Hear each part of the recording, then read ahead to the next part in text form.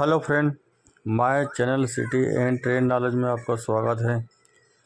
आज मैं आपको बताऊँगा कि मंगल ग्रह पर इंसान कैसे रह सकते हैं।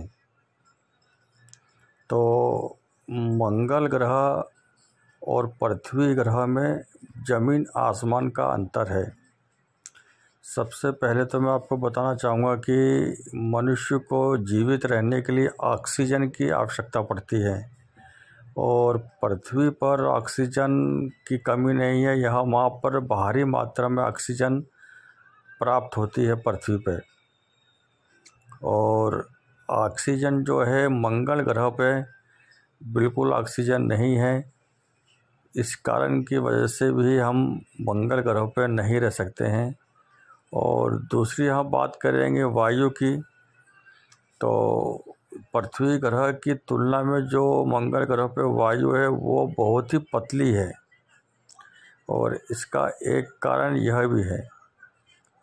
तो लोग बागों ने मंगल ग्रह पे तो सब कंफर्म कर लिया है। वहाँ पर ना पानी की सुविधा है, ना पेड़ पौधे हैं, ना ऑक्सीजन है।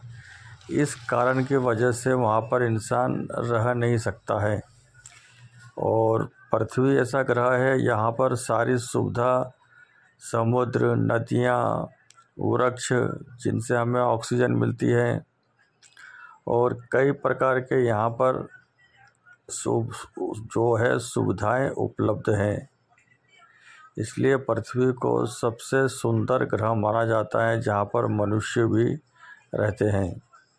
और मंगल ग्रह पे हम हमारी कल्पना ही रह गई है कि हमें मंगल ग्रह में हम रह सकते हैं, चंद्रमा में रह सकते हैं।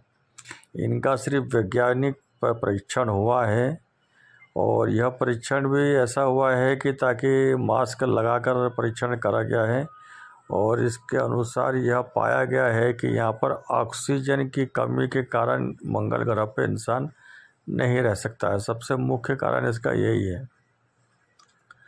और मंगल ग्रह में पानी की भी कमी है, पानी भी वहाँ पे नहीं है। और जो ज़मीन है वहाँ की वो भी खुरदुली टाइप की है।